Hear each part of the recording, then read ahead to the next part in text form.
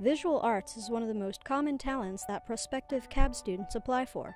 As a viewer, you may be considering it for yourself.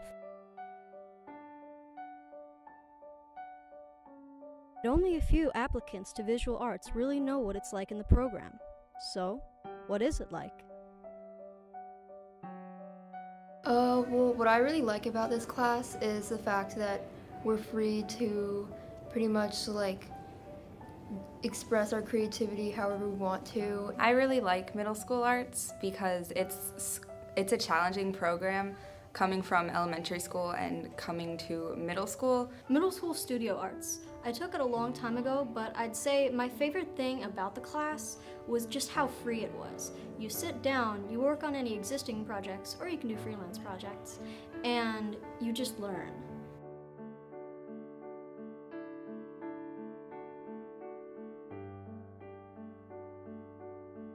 Tips for an applicant would be um, that the uh, assessment process is uh, very specific, that we need three different um, uh, specific artworks for the portfolio. One is a landscape, one is a self-portrait, and one is a still life using at least three objects.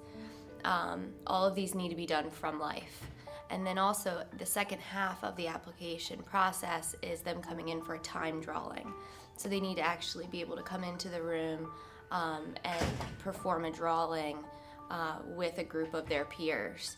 Um, I'd say one of the most important parts of this process is for students to not put more in their portfolio than the expectations.